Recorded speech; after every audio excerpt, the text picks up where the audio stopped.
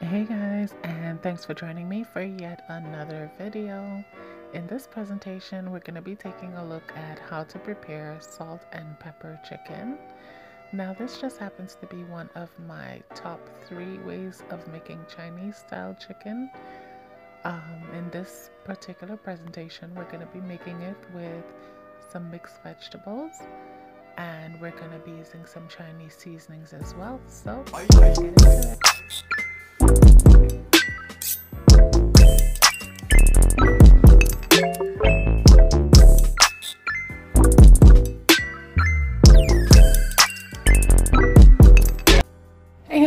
and I'm back here with some chicken legs. I have some chicken legs that I cut into individual, like I cut them three times. So this is would make up an entire chicken leg here. It's just cut up, chopped three times. I Chinese chopped them. Now to season this chicken, after it's been rinsed and washed, of course, in lime, I'm going to be using half a teaspoon of garlic, half a teaspoon of ginger, half a teaspoon of black pepper, half a teaspoon of salt, and half a teaspoon of sesame seed oil. So I'm gonna incorporate that into the chicken and I'll be right back. So after your chicken has been seasoned with those four ingredients that I mentioned, we're gonna let this sit aside for to marinate for about half an hour. Next, you're gonna need some more ingredients for this. So you're gonna need some minced ginger, minced garlic, color pepper. If you have green peppers, that's more specific towards this menu. Uh, this is some green onions that I'm gonna be chopping. I have two of these peppers here. I grew them in my garden last summer, so I'm gonna be introducing them because I should use chilies, but I'm gonna be using these.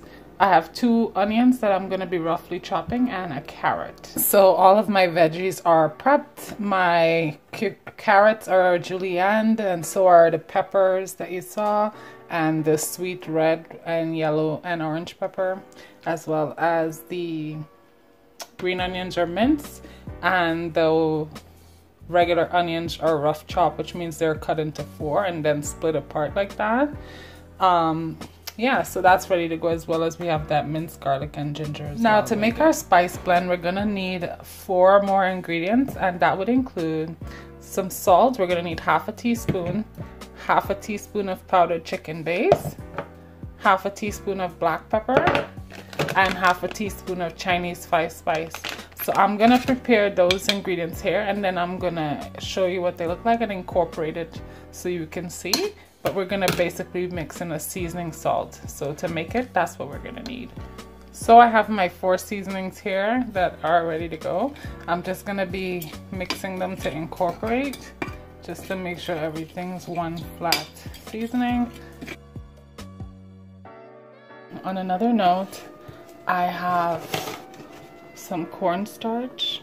I have one cup of cornstarch here measured out and I'm just to be sprinkling this over the chicken.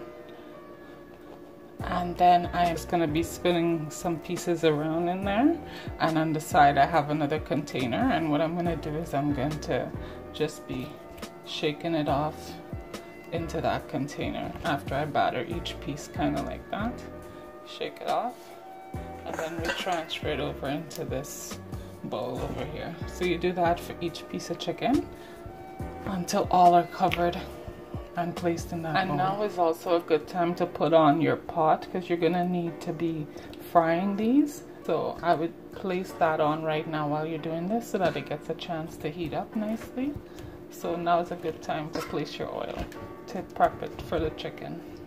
So my oil is hot. I have two cups of oil here in this on a medium high heat and it's hot. I have all my chicken that's been covered with the cornstarch. So it doesn't look like I'm going to be doing a whole fry because of the amount. But I'm probably going to do two batches. Um, two batches of chicken going in here because I have a lot of pieces. So I have I wouldn't say half, but I have a good portion of it frying here. I'm gonna set a timer for 10 minutes. And that'll be the total fry time. So after five minutes, I'm going to flip it on the other side and get the other side of the chicken frying. So we'll let this go for five minutes on medium high heat. So we hit our first five minutes of fry time. So I'm just gonna go in and start flipping over these pieces of chicken so that the other side gets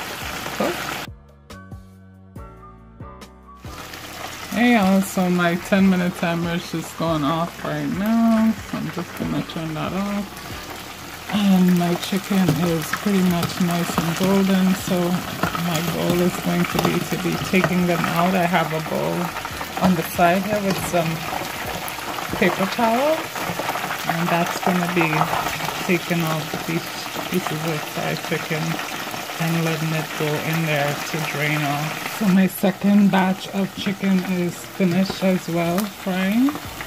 So I'm taking them out. I have a separate bowl that's going to be relieving these pieces. The initial bowl's right there. But the reason I have the second bowl going on is because this first batch of chicken is going to get refried for no more than five minutes. That's just to intensify the crispiness. So I'll be putting that in right here as I take so As I said, we're going to be putting these in for no more than five minutes. Um, back into this oil.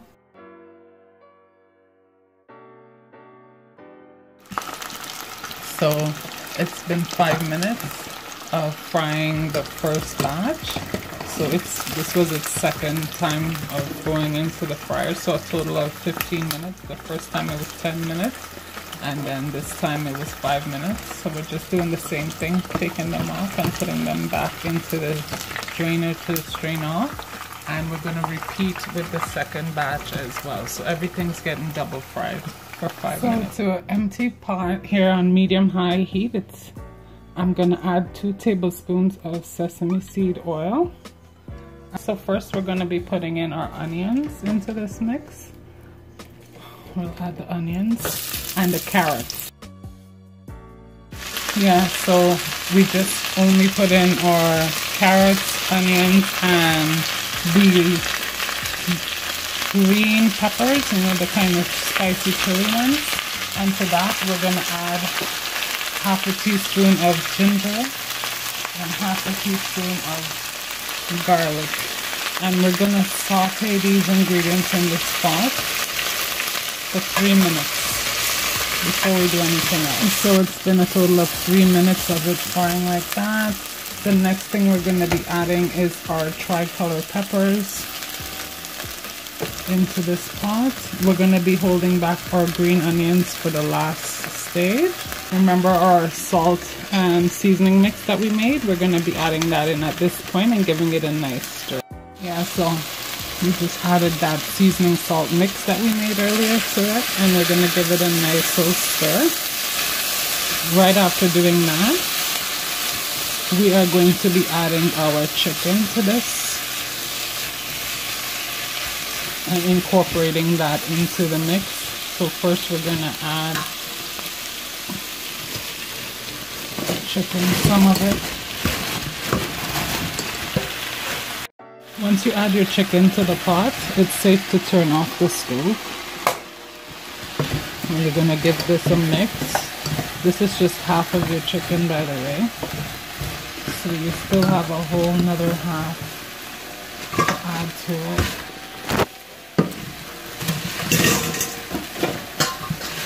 So we're gonna add that right now and we're going to give it a good mix to incorporate everything. Okay guys. So this is the end product of the salt and pepper chicken. It's ready to be served. It can be served as a side on its own. It can be served over better rice. Um, I'm probably going to be having it with rice yeah so this is ready to go. I just wanted to come back and show you what it should look like when it's all ready. So, so